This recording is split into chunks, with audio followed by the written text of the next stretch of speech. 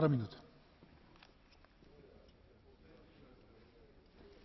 Thank you, President. Colleagues, as we speak, big companies are buying land of people throughout Africa, buying the land where people cultivate the, the food that they need to eat. They buy all this using corruption with weak governments. These companies pay back 3% of taxes or even less, nothing. This leads to famine and poverty. At the same time, the hike in prices because of the use of food crops for the production of biofuels is leading to poverty, famine and unrest, emigration throughout the, the, the poorest part of the world.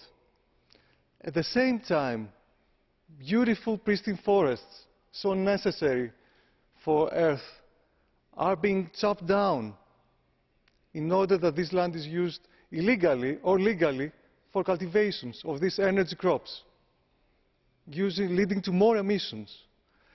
Which is the link between poverty, famine, and more emissions? The link is that it's fueled many times by our European policies, by 6 billion, more than 6 billion euros of indirect and, uh, and direct subsidies coming from our European policies on biofuels. We made a mistake and we have to correct this mistake. That's why the Socialist Group is proposing, is supporting the 5.5% cap, is supporting a 2.5 target for second generation biofuels, is, is supporting ILUC factors from 18 onwards on both directives, RED and FQD. Thank you very much.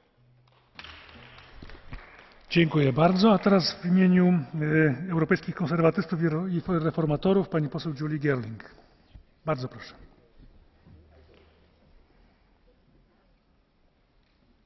Thank you, Mr President. Commissioner, like everyone else here, I've certainly spent a lot of time looking at the details of this proposal.